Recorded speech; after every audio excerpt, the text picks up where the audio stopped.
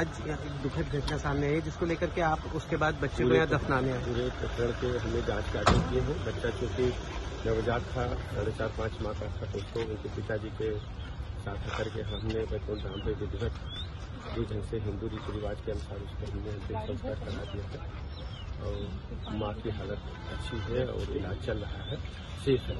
से इसमें परिवार वालों ने ये आरोप लगाया था कि कई दिनों से वो हॉस्पिटल के चक्कर लगाए थे उनको एडमिट नहीं किया जा रहा था। दरअसल वो, वो पूरे प्रकरण के हमने जाँच के आदेश दिए हैं।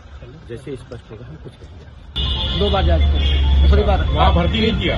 भर्ती नहीं करी। क्यों भर्ती करने के लिए कहा नहीं? उन्होंने कहा कि अल्ट्रासाउंड लिखे तो अल्ट्रासाउंड वाले पास जब गए तो कह लगे कि ऐसा कि एक हफ़्ता बाद आओ, एक हफ़्ता तक देंगे अल्ट्रासाउंड कराओ तो अब आज कल चौदह तारीख की डेट ही ना चौदह तारीख का कल ही जाग रहा है आज ही नहीं, पत्नी तुम्हारी बीमार थी कमज़ोर थी उसको भर्ती नहीं किया? नहीं। भर्ती करने को कहा तुमने? हमने कहा। तो क्या बोला?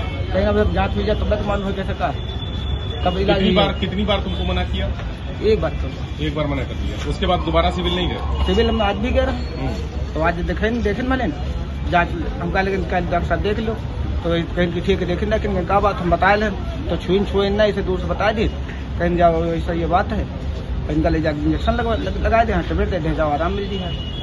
तो जब पत्नी की तबीयत खराब हुई रास्ते में तो तुमने एंबुलेंस को फ़ोन किया? नहीं किया।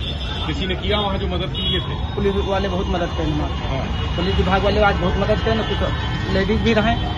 चाहे सचिवालय को चाहे कहीं वो लोग बहुत हेल्प करने हमारे कई लोग आ गए थे मदद करने मदद करने- किसी ने एंबुलेंस को फ़ोन किया था? पुलिस वाले ने मदद करना पुलिस वाले बहुत आज हेल्प करें हमारे सचिवालय वालों ने एंबुलेंस को फ़ोन किया था? उन्होंने फ़ोन करके एंबुलेंस को सपोर्ट करके सब इंतज़ाम करके सब बेचारे यहाँ तक अभी सब एडमिट वगैरह कराए नहीं पुलिस वाले आज। तो एंबुलेंस कितनी देर में आएगी एंबुलेंस आधा घंटा में आएगा आधे घंटे? हाँ। आधा घंटा लगा?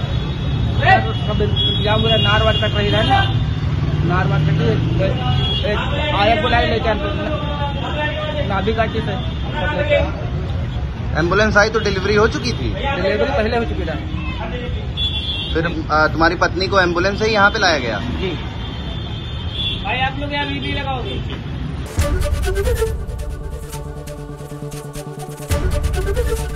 एबीपी गंगा खबर आपकी जुबा आपकी।